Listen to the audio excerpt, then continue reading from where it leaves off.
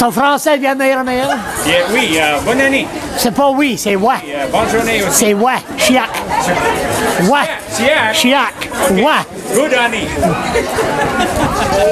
Always a pleasure.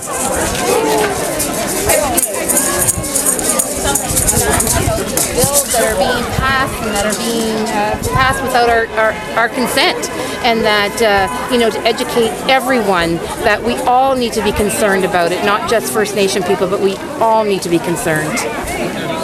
Okay, thank you. How many people do you think you have here today? Um, I would say there's got to be a couple hundred here today, and you know it's a work day. It's uh, you know 11 o'clock. Uh, I can tell you, I received numerous text messages, emails uh, for that. You know they might not be here, but they're here in support for sure. So, yeah. Is it more the environment or is it more about housing? When the chief talk about housing and the in in the reserve and all that, like what's what's this all about? Truly, what it was all about? It doesn't have uh, anything to do with housing. It is about the environment.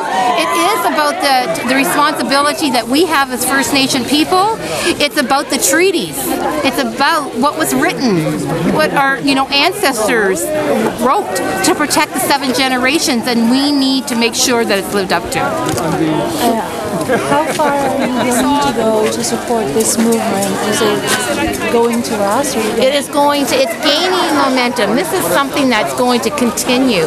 Um, but I want to say that we are doing this in peace and friendship. That's what our treaties were built on. It's called the Peace and Friendship Treaty. So we're going to continue this in peace and in friendship and come together in unity, and we, we're going to continue.